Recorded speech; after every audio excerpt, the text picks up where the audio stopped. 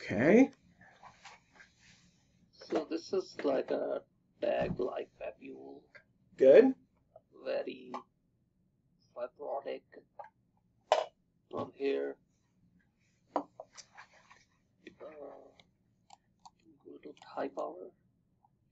Yeah, I mean, basically at low power, this is an acrocordon, right? Skin tag. Yeah. But Yeah, but in the in the superficial dermis, I would say uh, they are like these scattered, uh, hyperchromatic stellate nuclei, large.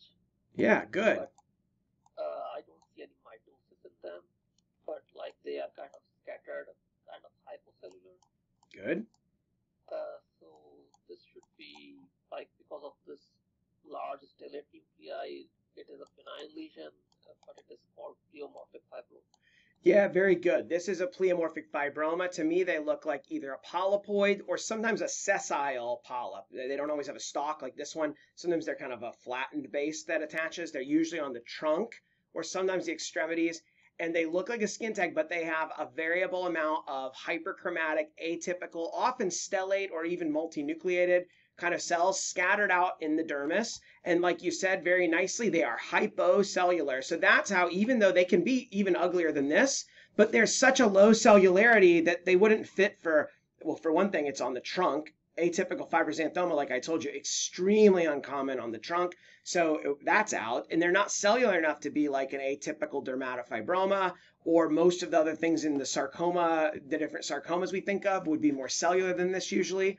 So what you're left with is this entity called pleomorphic fibroma, which was kind of thought to represent an atypical form of basically like a skin tag in the past. But now what we think um, is that there's there's newer evidence that suggests that these probably are more closely related to spindle cell and pleomorphic lipoma because like spindle cell and pleomorphic lipoma, these have RB1 loss, loss of nuclear RB1 staining uh, due to de- deletion uh, in uh, 13q.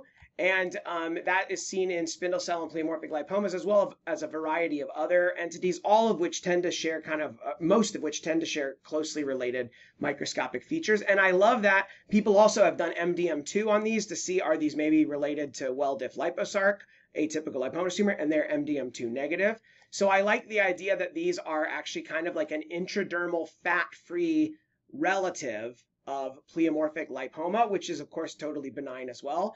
Why I like that is because sometimes in these I see ropey collagen and myxoid change, and occasionally I've seen little clusters of adipocytes in the dermis with these. And so I love when that when that paper came out a few years back.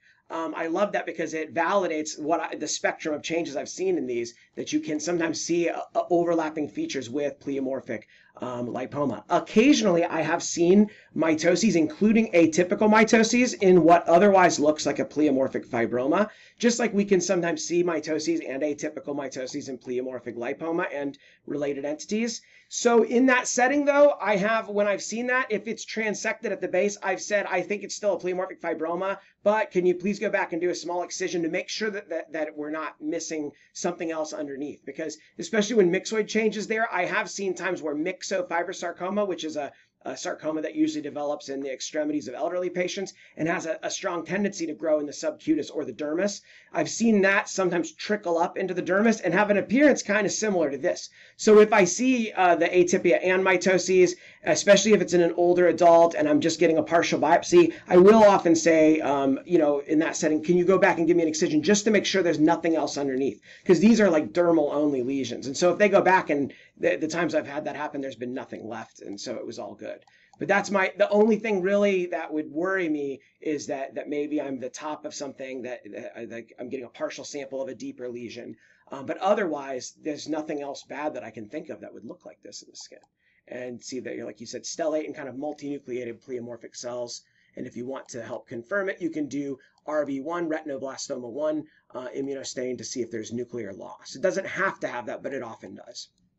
Okay, pleomorphic fibroma. When I make this diagnosis, I put a comment that this is a benign lesion that is related to spindle cell and pleomorphic lipoma and has some, some features that look like skin tag.